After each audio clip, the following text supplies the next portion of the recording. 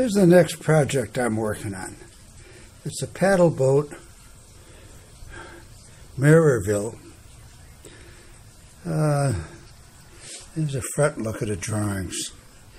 Now what it is is, these are plans I got off the internet. I'll post you where I got them. And what it is, they're free plans.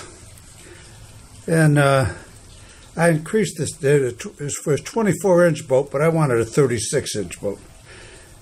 So I went ahead and I uh, scanned, uh, took the pictures, the drawings that they had, which were like eight and a half by 11 sheets. And I sort of blew them up another one and a half percent. Then I cut them out and sort of pasted it all together to get the drawings. Let me show you what I have so far. There's a a whole number of, of uh, pages that you copy down. This is, you can see how I got that sort of glued together. I had to make it three pages. These are the different parts. Uh, these are the parts I have glued out already, or cut out already. And I'm starting to put the little details on, and I'll show you that in a minute. Uh, here's another page that shows you the different decks. Uh, and you get pages like this you put together it shows you the whole deck layout and of all the decks. I mean, it's it, it's a quite a nice setup for no cost. All right. This is what I have so, set up so far. Here's the front. Now I'm only doing half the half the boat, and uh, see the different layers uh, made out of different woods. Basically, I had some thick, um, some thick. Uh, mahogany that I made it out of. Now you're starting to see I'm starting to do the little detail like the doors and the windows up here. And I'll show you the and what it is now. I'll take this apart. Uh, these are gonna these holes here I had drilled, and I got it. They, they actually line up, and I'll show you what uh, what those are for. But first, I want to get all of the sort of the little like the windows and the doors glued on there. And I'll show you what that looks like after. What I'm using is uh, just one eight plywood I cut one inch wide. And what I'm going to do is I have a whole bunch of these one eight swabs. And I like to using those.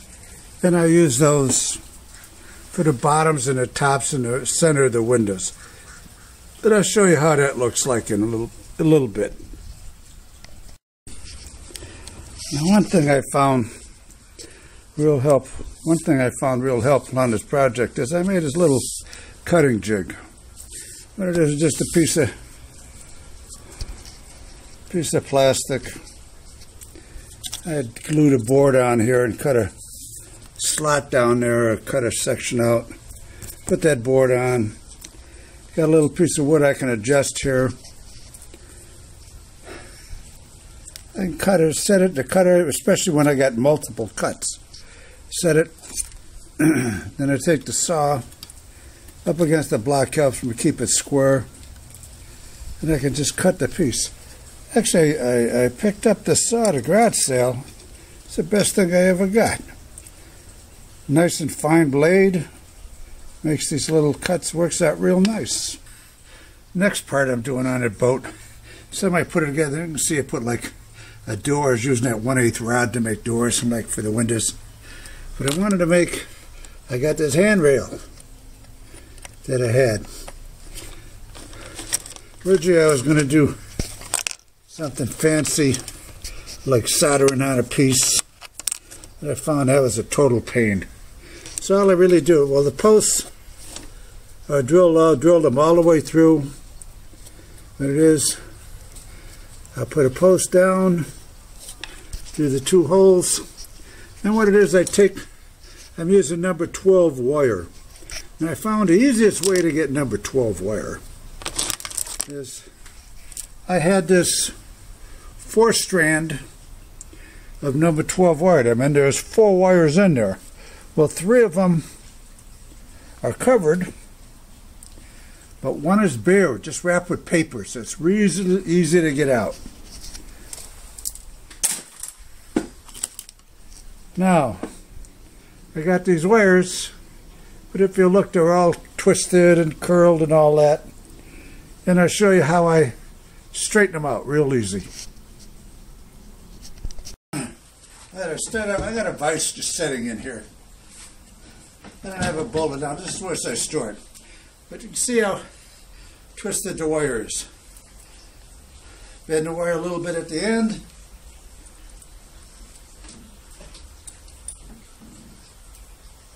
On, wire. Clamp it on the vise. Take a pair of channel locks. Lock it on the wire. Stretch it out a little bit. And then I just beat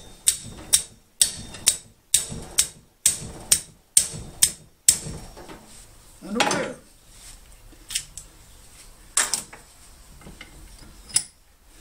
As you can see, it's nice and straight now. Next, I'm putting in these railings. Like I say, I was going to solder them together and try, but it was a pain to try putting it together. So all I did was, all I'm doing now is, I got holes drilled all the way through these pegs, the posts. And I'll go ahead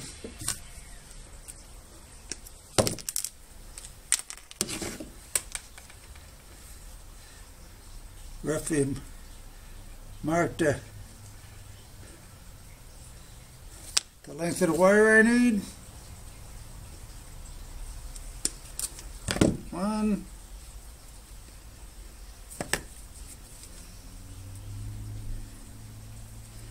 Two.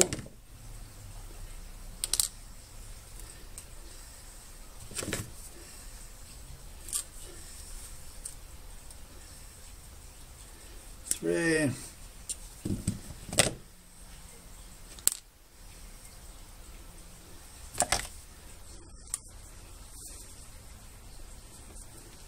Four.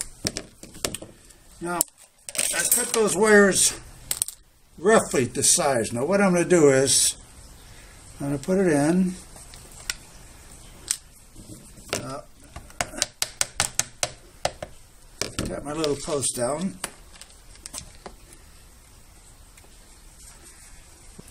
like I say, I got the wire, I put it in, I bump it to the outside, and I make sure it's just this outer end here. Then what it is,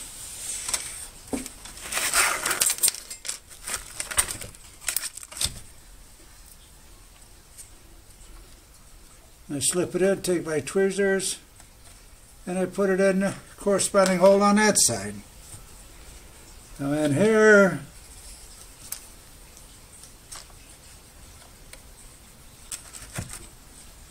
Those the right size. Put this one in here. I grab one of them.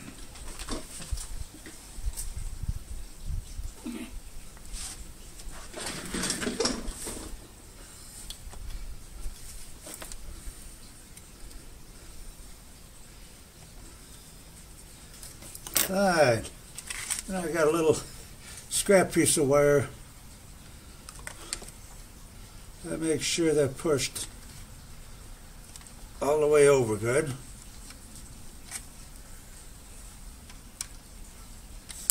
The top was a little long.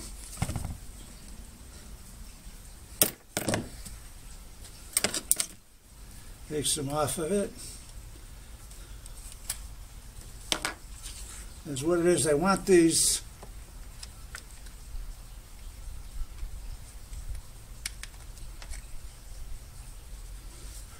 roughly to end right in the center of, so when I put the next ones on. And what it is, I take another post,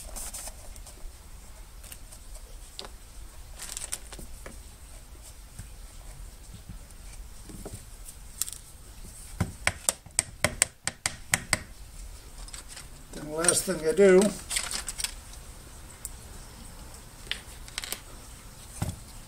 good old super glue.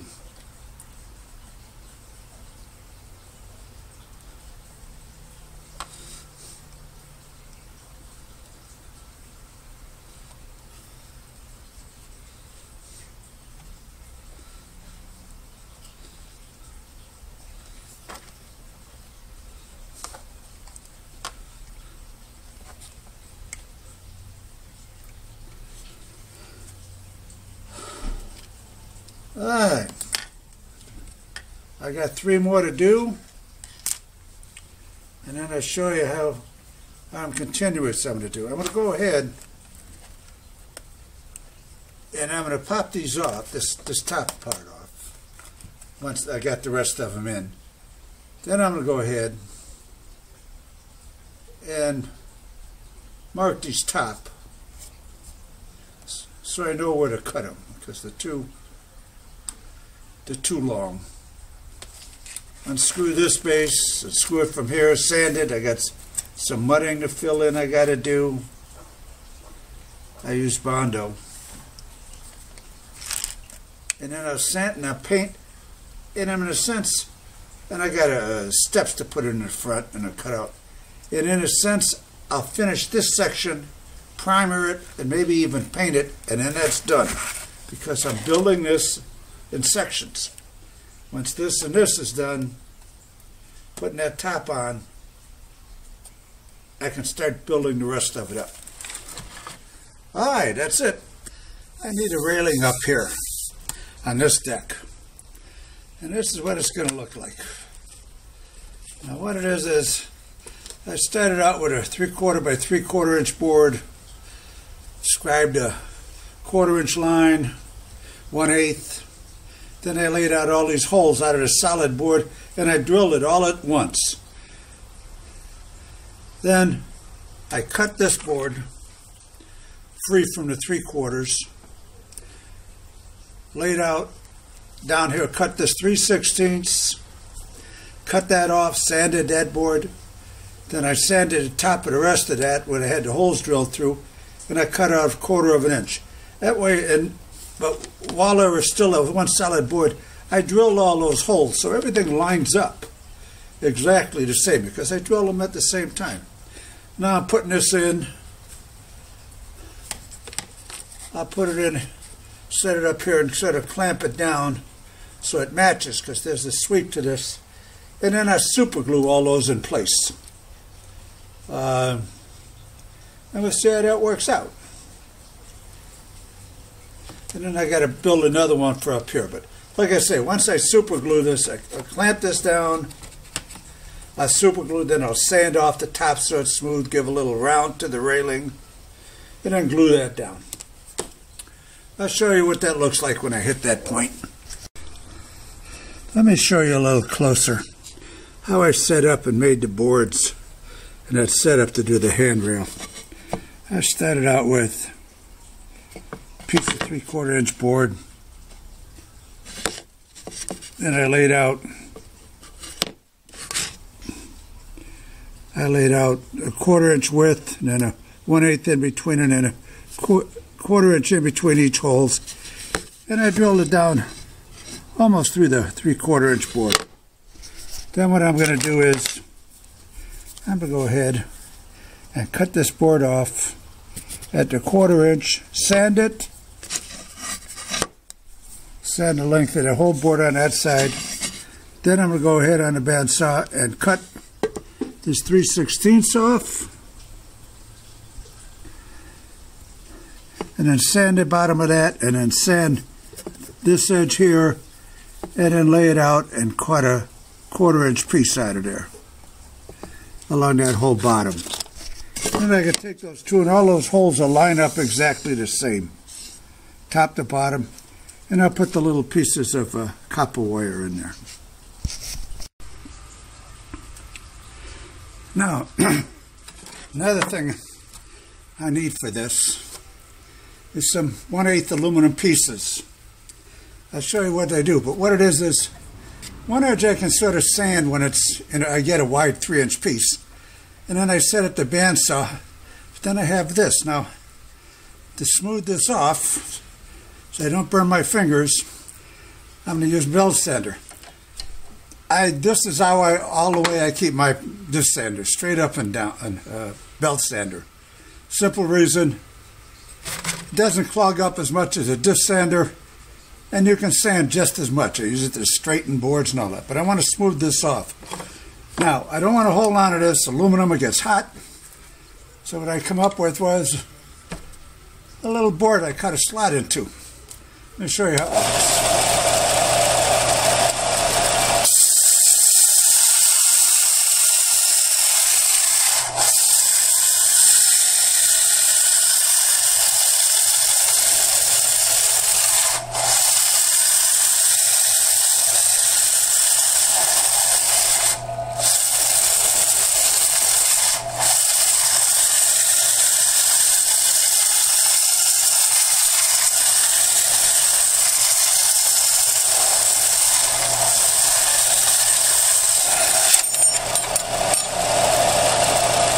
Ouch, ouch, ouch, ouch.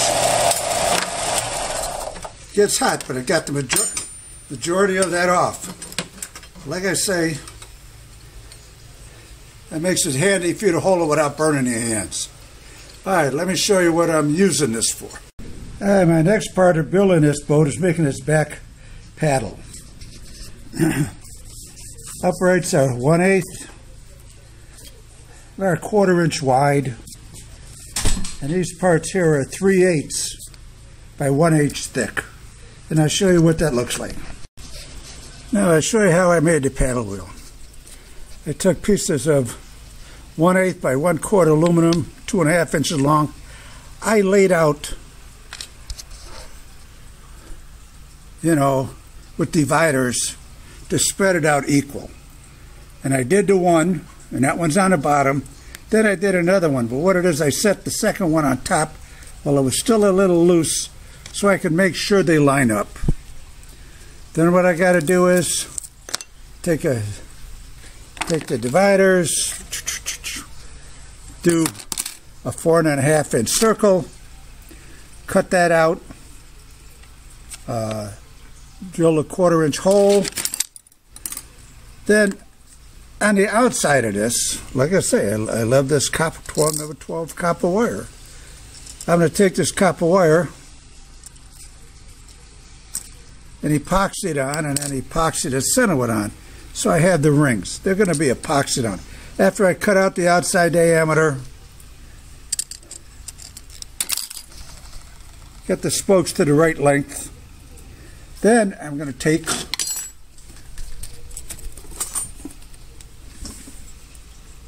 this 3 eighths by quarter inch that I just cut. And where that's going to go is it's going to cut it two inches long. I'll cut it two inch long pieces and then spread this out. And I'll show you when it comes to that. And then that'll be glued on that, and that'll be the paddle wheel. That'll be how the paddle wheel goes. So that's what I needed this one. Now I found aluminum is a great thing to have for modeling. For the simple reason you can cut it on a bandsaw, you can sand it fairly easily, can bend it to a certain depending on what kind of aluminum you get. This is is real good. I originally was going to build these out of wood, and I started going, no, I built it out of wood. I know I'm going to break one. I was going to use one eighth plywood. I know I would have broke it. This way, this thing is solid. All right, that's it for now. I found useful on these models is like on this flagpole, on the pole. I needed some parts to uh, attach the line to. It goes up to the top, over to the boom, down, hold that up. But I find there's these little, I, think they're called escutcheon pins, little brass pins that uh, different sizes you can get. Nice head on them. You spread. The other thing I did was notice on the top of the poles I needed uh, a loop to run the string down through. And the same thing over here, and I found the easiest way to make that was you need loops. Take some thin wire, bend it over into a loop, small. That hole's only maybe an eighth of an inch or smaller diameter. Could have even made it smaller. And then just the super glue that into the hole. Alright, here's the finished paddle wheel. Got some people on it. I forgot what size. I ordered the wrong size first, and then I had to order another size. I think you're either 125th or something like that, or 150th. Uh, I forgot, but this is the